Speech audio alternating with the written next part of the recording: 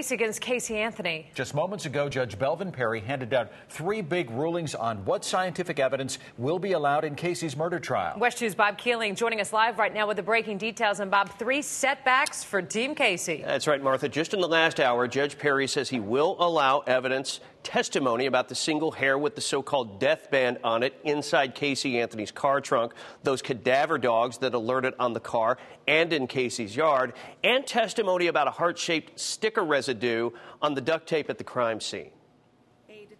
Today's rulings give prosecutors a greater scientific basis from which to claim Casey Anthony had her daughter Caylee's body in the trunk of her car.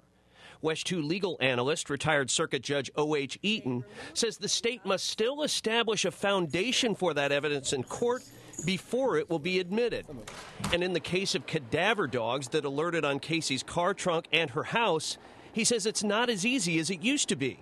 The uh, Supreme Court has uh, added several uh, additional factors before this testimony can be admitted. So it's not a foregone conclusion that they're just going to be able to lay the foundation and away they go. It's tougher now. Yeah, that's right. And, and of course it should be because, after all, you can't cross examine the dog. So today, the defense team has filed another motion challenging evidence of that so called suspect stain in Casey's car trunk. Last week, Judge Perry ruled that that too can be introduced as evidence at her murder trial. And we'll have much more on these breaking developments. All new at 5, Jim.